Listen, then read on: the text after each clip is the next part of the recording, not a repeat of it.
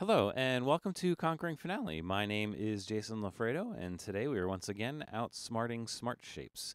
We are going to be looking at slur settings today, and Finale has a lot of settings that can be applied to slurs. Uh, in the Smart Shape menu, we have slur contour, there's placement for slur in the Smart Shapes placement uh, menu, and also Smart Slur options, which will deal with design a little bit more. Um, so there's a lot to it, but for this, for right now, I think we're going to look at slur contour and slur placement specifically. So let me just zoom in here a little bit, and let's start talking about slur contour. Now the slur contour dialog box has a couple pieces to it. In the top section here, you'll see the slur, and there's a single handle here. And we can actually grab that handle and move it around to change the contour of the slur. We can make it a, little uh, higher or shorter. And we can also move it left or right to change the inset so we can get some really funky results this way. You get a ballooning type of slur. Um, lots of different things to do there. And incidentally, whenever you make changes, we can always go and hit the reset button and it will reset the, the slur height and inset to um, their uh, default positions as they are when it comes out of the box. So what we have here, and by the way, the bottom section here is will give you sort of the result of what the slur will look like on different notes. And what we have here is we have four different spans. We have a short, medium, long, and extra long span that Finale will define, and each of these spans can have a different height and a different inset value. And the short span will be defined as 0.125 inches, um, the medium will be one inch. This is the length of the slur from the left tip to the right tip. Long span will be three inches, and extra long will be four inches, right? And you can see as I'm uh, selecting different spans here, these height and inset values will change, right? And um, this will allow us to uh, get different heights for different lengths of slurs, because obviously we want a longer slur. If you look on my score here, to be a little bit higher off the baseline than a than a really short slur, right?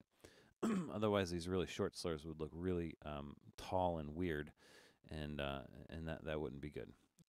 Now, the way this works is that between these four spans, right, the short span is set to 0.125. The medium span is a, an inch long, and the long span is three inches long. So between the medium and long span, you know, there's two inches of length. So if you have a uh, a slur that's two inches long, um, you know, you're not going to get a slur that's going to be 0.2 inches, and you're not going to get a slur that's going to be point uh, 0.25 inches. You're actually going to get a slur that's going to be have a height of between 0.2 and 0.25 inches, right? So a slur of two inches long will get a height of 0.225 inches. So it's essentially it's scalar, right? So the longer the slur, the closer it approaches the long span length, the closer the height will get to 0.25. And as it gets shorter, the closer it gets to one inch, the, the closer it will get to 0.2 uh, height, if that makes sense. And the same applies to the inset. Now we'll notice that the inset is going to be the, the, the reverse of the height. So the inset's going to be larger on the shorter spans and sh uh, smaller on the longer spans. Now just I'm to illustrate this with the extra long span, we have an inset of 18% right here. And if we were to make this really, basically what the inset is, is um, it's sort of the point at which the the curve sort of maxes out on the side, right? So, and the percentage is a, uh, the percentage of the length of the slur. So 18% means that 18% along the length of the slur is where that uh, control point is for the inset, and that's where the slur starts to flatten out. And then it's it happens the same way on the on the other side. So 18% of the way from the right edge, the slur will start to uh, flatten out. Now, if we make the inset smaller, let's make this 5%, you can see what happens to the slur is that you get a sort of a sharp curvature at the beginning until about 5% of the length, and then it really starts to flatten out through the middle, and you have sort of a flat-topped slur when you have a smaller inset percentage, right? If we were to make this really high, 45%, you'll see that that uh, the inset is all the way over here, 45% of the way across the length of the whole slur. So you get a really kind of steep, almost a straight line for uh, the majority of the beginning of the slur, and then a, then it sort of curves, and then there's not much top to it, and then it goes down. It almost looks like an inverse V in a lot of ways, right? So that's uh, the difference between uh, the shorter or the smaller inset percentage versus the larger inset percentage, right? So this is why we want the smaller inset percentage on the longer spans because the longer spans we definitely want to have a little bit of a flatter top. So we've got 18 for the extra long and 30% for the short spans, right? Now the same thing happens with the inset. I may have mentioned it will if the length of the slur is between, you know, the medium and long span, the inset value will also be between 25 and 20%, right? Now, the one thing is that if the slur itself, in the case of the short span, is shorter than 0.125 inches, the height will basically bottom out at 0.0555 inches high. It won't actually get shorter than that if the span is shorter than what's set here at 0.125. Same thing with the inset. It's not going to get higher than 30%. And with the extra long span, if you have a 5 inch slur, it's gonna the height is gonna cap out at 0.277 height, right? So that's uh, an 18% inset. So that's just sort of how that works. And, uh, you know, if you want all of your, theoretically, you could have all of your uh, slurs be the same height, right? If we were just set this all to 0.2, uh, 0.2 for the medium, 0.2 for the long, and 0.2 for the extra long. And you can see what happens is that now, if you look on this first system, all of these slurs will actually be along the same sort of horizontal plane. And you can see why that's not a good idea because these short ones look really bizarre, whereas the long one looks, you know, perfectly fine. So that is the reason for the uh, the uh, the different lengths or different heights rather. Let me just go back and reset these.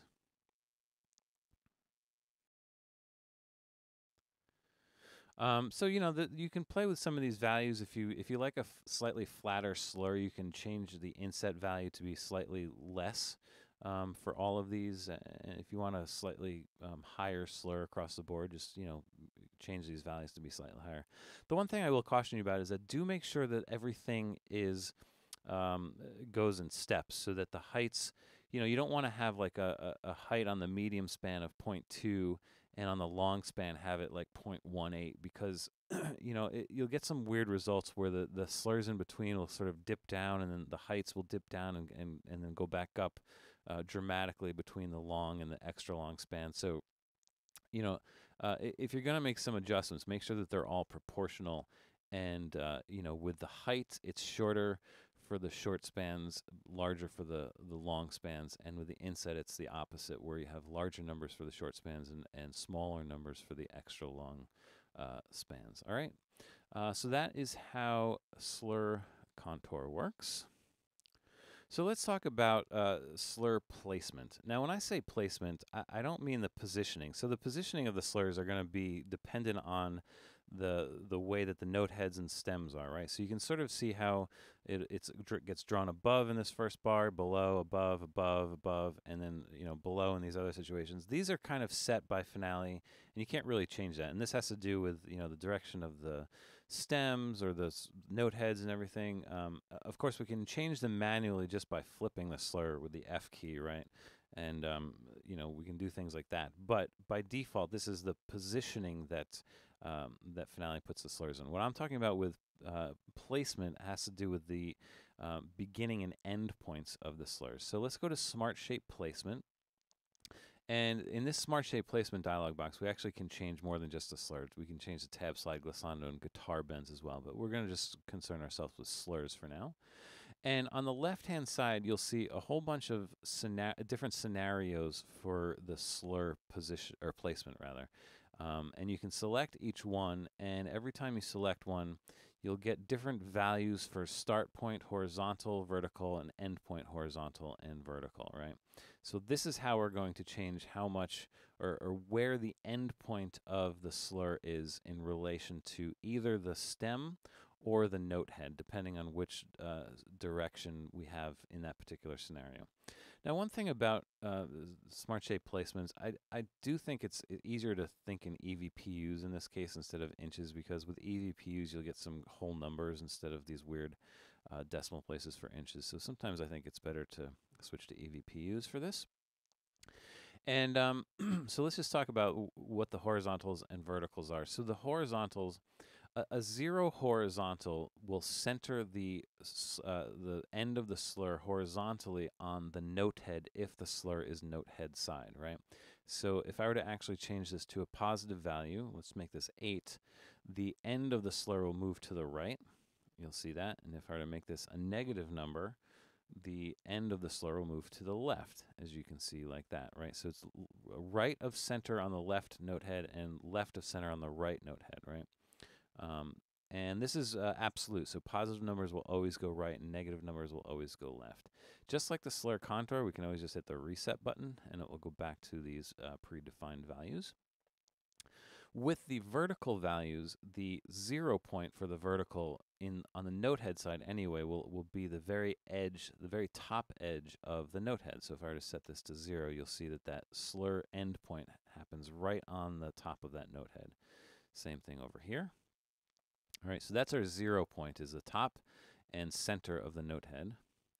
When it is stem side, the zero point is actually centered on the stem, not on the note head this time, right? So in this case, with the uh, slur on the stem side, it's actually trying to place it um, further inward, and that's why we get these values of start point uh, horizontal of 12 and negative 12. Again, if we were to put these at zero, for both of these, you can see that the slur now gets pinned to the actual uh, uh, stem itself, right? Which is not what we probably want.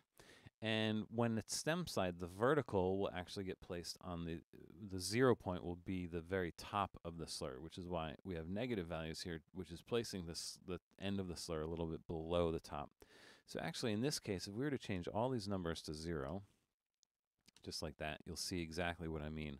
Uh, basically, the end, the top point of that uh, stem is where that slur is originating and ending on, right? and so changing these values will will get it off of that point. And with the vertical, negative numbers will always go down, positive numbers will always go up. In fact, we can change this to positive 24, and you'll see it go above that point. Um, this is uh, somewhat dissimilar. I think articulations, eh, for example, positive numbers mean it goes farther away and negative numbers mean it goes closer. But in the case of smart shape placement, negative always goes downwards and positive always goes upwards, uh, despite the direction of the stem itself. All right. And so, like I said, we have different options for different scenarios. This is the above the note head, below the note head situation. You can see the vertical is now negative here versus positive. Um, above the stem, uh, stem side when there's different layers. So we can actually have two different placements in this scenario if we wanted to. Um, this is below for when there's layers. Now there will be a little bit difference when there's a flag involved because the flag will actually uh, protrude a little bit further. So you're going to want a, a, a um, horizontal uh, starting point that's a little um, larger than when if it were just on a stem, so which is why I have 24 here. And in some cases, like this one in particular, you'll, you'll, notice that you only have options for the start point. You don't have options for the end point. And that's because in this particular case, the end point is similar to another scenario, which happens to be this one.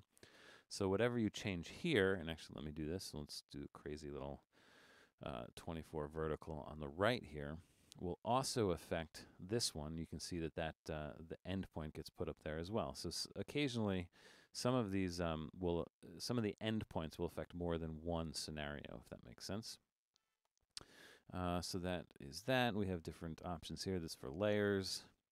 Uh, and then we have options for beams. And obviously when you have the beam, now we want to center the, uh, the endpoints on the stem itself, which is why the horizontal is now set to zero instead of, you know, inset right and left accordingly. Same thing with below. we have options for grace notes as well, um, and we can again we these are all uh, you know adjustments that you can make um, depending on your taste. You know, if you think that the slurs are a little bit too uh, you know far away in scenarios like this, you know, you can just change that to 10 instead of 12, and it'll make it a little bit closer. You know. So just ways to customize it. And then finally, there's two more options at the bottom here uh, for slurs when uh, on uh, tablature numbers, right? And in this case, the start point horizontal, zero is the center of the num of the number itself, all right?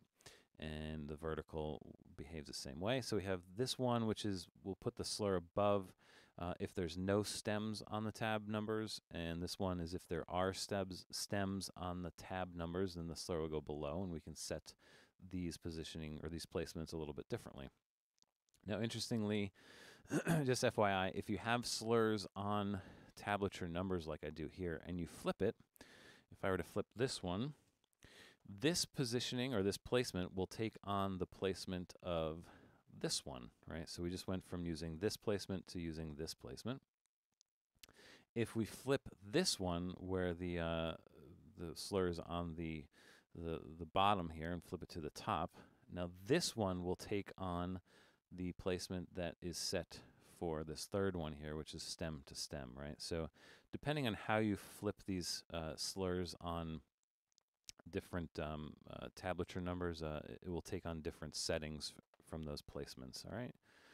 And then finally, what I do want to mention about both uh, slur contour and slur placement is that if you make manual adjustments to any of your slurs, in other words, if you select a slur and start changing the arcs and start changing the endpoints and all doing all this stuff, and then you go and make changes to either the smart slur or the slur contour or the smart shape placement of the slur, this slur will be left alone. Uh, those those placement and contour options will only apply to slurs that have not been touched manually, right? It's only until you right click this, uh, right click any manually adjusted slur and do remove manual slur adjustments. And when you click remove manual slur adjustments, it will reset this slur to whatever new settings you have for the slur contour and the uh, smart shape placement, and also the smart slur options too when we get to that eventually.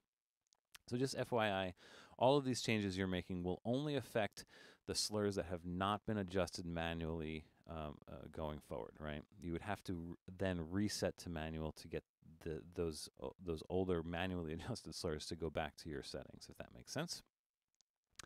And uh, finally, with the contour, the um, not only will the slur be affected, but the dash slur will be affected, and also the dashed curve will be affected. Those three tools will be affect, affected by the smart uh, the slur contour settings.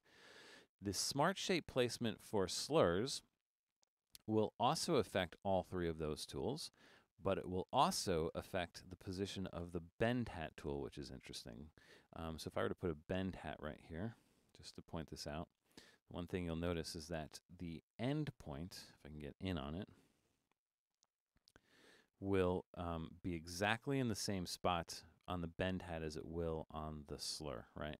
This basically what happens is the the end, the beginning and end position for this bend hat are exactly the same um, as the slur because it, it takes on those settings as well. All right, just FYI, so you're aware of that. And I think that covers um, I think that covers uh, contour and uh, positioning. Let me just double check my notes real quick to make sure I didn't miss anything.